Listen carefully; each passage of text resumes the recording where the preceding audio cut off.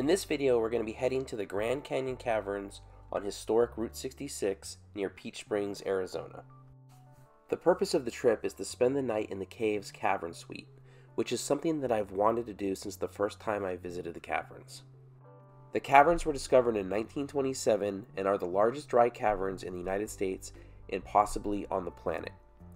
For a brief period from 1957 to 1962, they were called dinosaur caverns, so you'll see a lot of dinosaur stuff all throughout the property.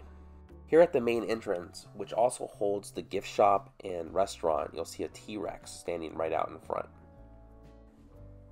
Next to the T-Rex, you'll see a replica of the original entrance to the caverns.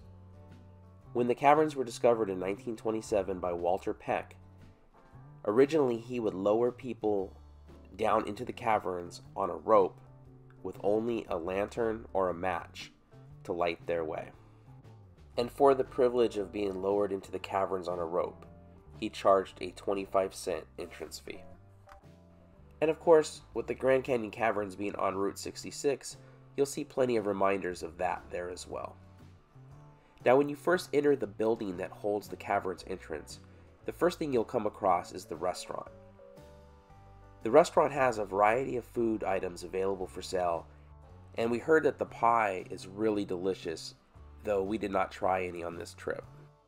And with Route 66 being known for a variety of world's largest items, here's the world's largest dinosaur saddle.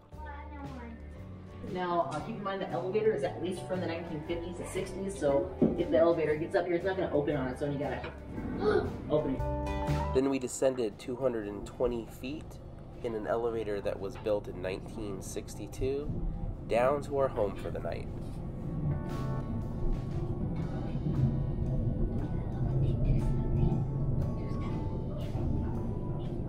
Not everyone was thrilled about it, however. Are you ready to sleep in a cave? No. After descending the 220 feet, it's a short walk to where we'll be sleeping the night in the cavern suite. Now, on the surface level, the Grand Canyon Caverns also has campgrounds and a motel as well, but this is the only room inside the cavern, so only one group of people can stay there a night. Um, as you can see, the temperature stays around 56 degrees year round in the caverns though according to this thermometer it was 59 degrees. Uh, but that's most likely because we were near the entrance, so there was a little bit of airflow coming down from the elevator shaft. And as I was mentioning, the cavern suite can sleep up to six people and is available 364 nights out of the year. I was told that during the summer months and in the busier season, it could be booked every night, but when we went in early March, we were told that it usually only a couple nights a week that it's actually booked up. And so you just have to check availability for the room if you want to sleep there. So here we are entering the what's called the Chapel of the Ages. Um, it is a very large room in the cavern, and you'll get your first view of the room where we'll be staying the night.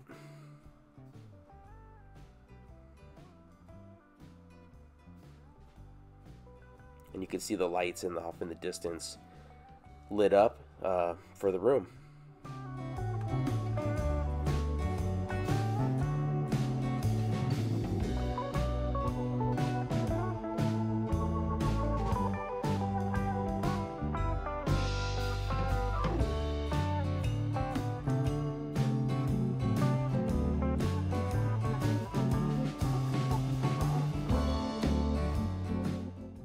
And here's a view of the bedroom from behind the theater area.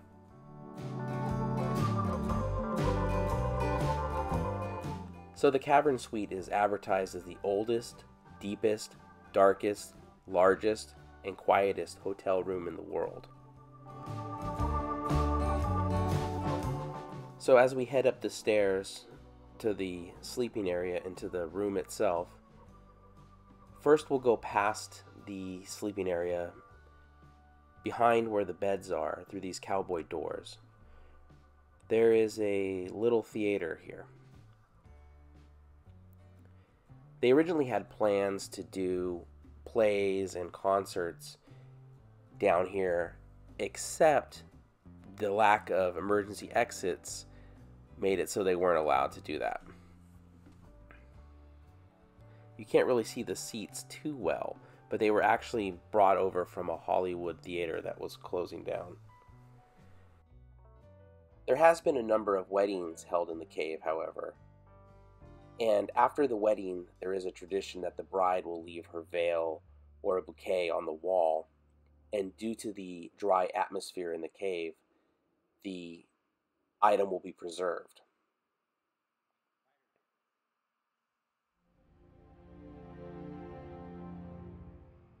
You can kind of get a glimpse of the full room here, uh, but we'll take a closer look at it in just a second.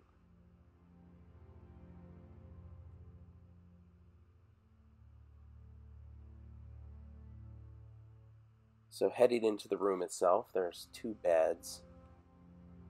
There's a phone, but it actually only calls up to the building above if you need to get a hold of the attendant for anything. There is an attendant who stays up there the whole night that you are in the cave. David was our attendant. He was actually pretty awesome. And there's a TV. There's no cable or satellite. It's Blu-ray and DVD player only. Small kitchen area with a refrigerator and a microwave, some condiments. Um, there's a library of DVDs, National Geographic magazines, a few board games. Uh, there's actually records. There is a record player in the cave, stereo. And then here's the bathroom. We were told uh, we had about 10 flushes. Uh, the water has to be brought down by the employees. There's no plumbing that comes down to the cave. And so that's the room. Well, there's also this uh, rock dog guarding the room. After dropping off our stuff at the room, we took a little tour of the cave. Now, when you stay in the cavern suite, you can actually walk around the cave as much as you like. Uh, they ask that you stay on the trails. However, we took the tour with the tour guide, um, so that way we can learn as much about the cave as possible. The caverns are really well lit. Sometimes it won't really show up on the footage. However, the trails are well lit, the caverns themselves are well lit. You're not going to get lost in there. This portion of the caverns was actually designated a bomb shelter during the Cuban Missile Crisis in 1962. There's a ton of water and food, and actually enough to feed up to 2,000 people.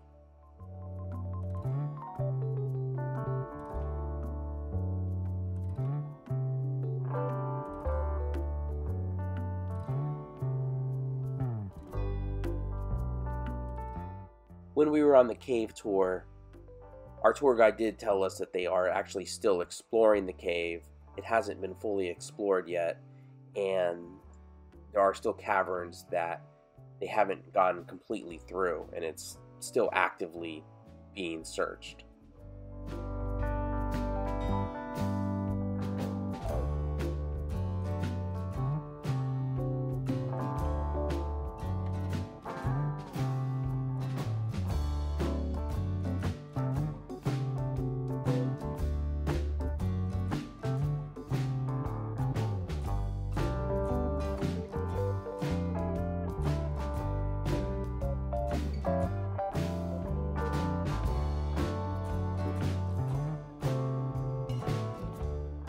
And even though it's a dry cave and nothing lives in it, except for us for the night, there are a lot of interesting features to see in the cave, even with the lack of stalactites and stalagmites. The Grand Canyon Caverns also offers tours where you can go off trail. I think they're a little bit more expensive and a little bit longer tours, but you can actually get off the trail and do some actual spelunking. And here's the mystery room. which is one of those places in the caverns that we're told has not been fully explored yet. The skeletons are obviously not real skeletons.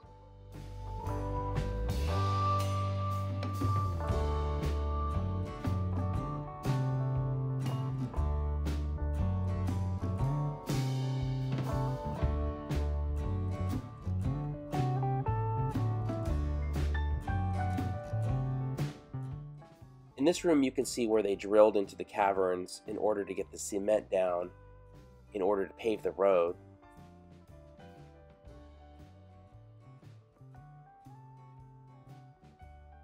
And also, right nearby is the 1930s entrance to the cavern, which was kind of down this ladder and stairs, and a mummified bobcat. Bob the Bobcat fell through the original natural entrance around 1850, 170 years ago.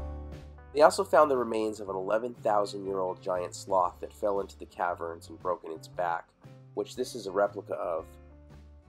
You can still see its claw marks on the wall where it tried to claw its way out. The steepest stairs in the caverns are actually at the end and they go down, so it's not a very strenuous hike through the caverns. Um, however, it is definitely not handicap accessible.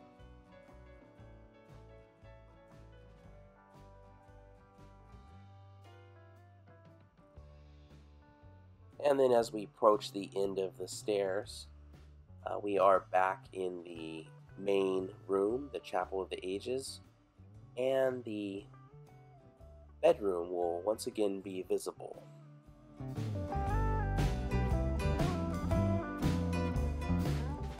And right near the bedroom, there is this very deep looking hole that leads to the waterways below.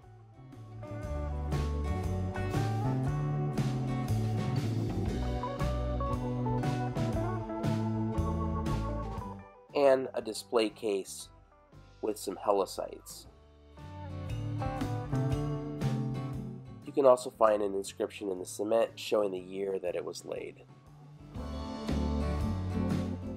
For dinner, we opted to have the food brought down to us and eat in the cave. Raymond had a hot dog. Jessica had some healthy pasta and chicken.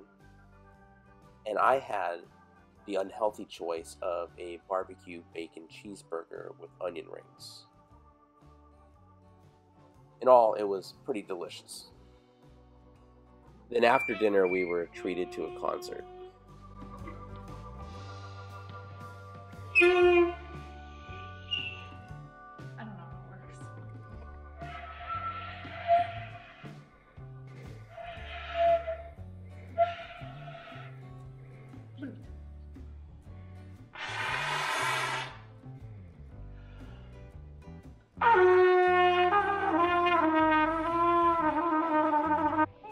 And what movie do you watch when you spend the night in the cave?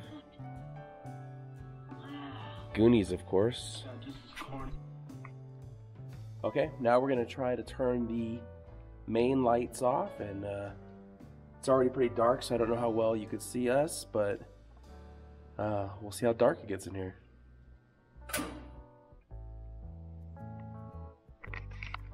And there is no light anywhere. It is pitch dark in here. The only light is actually from the camera. From the camera screen.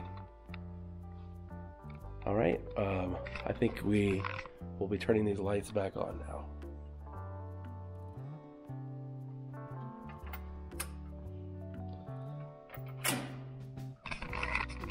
And there we go. All right, now it's bedtime. I'm gonna turn off the last lights here and then make my way over to the bed just a few feet away in the dark. And here we go.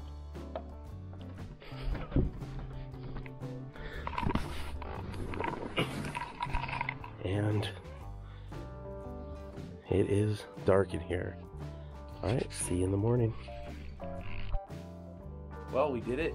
Uh, we made it the night through the cave. It was a really unique experience, definitely worth putting on your bucket list. Um, I mean, you'll never find another hotel room like this. Um, I definitely give it a thumbs up. Um, what did you think? I also give it a thumbs up. It was pretty cold, but they gave you lots of blankets. And what did you think? Cold. No. Well, there you have it. Two thumbs up, one thumbs down. Check it out. Please uh, give the video a thumbs up. Consider subscribing, and we'll see you next week.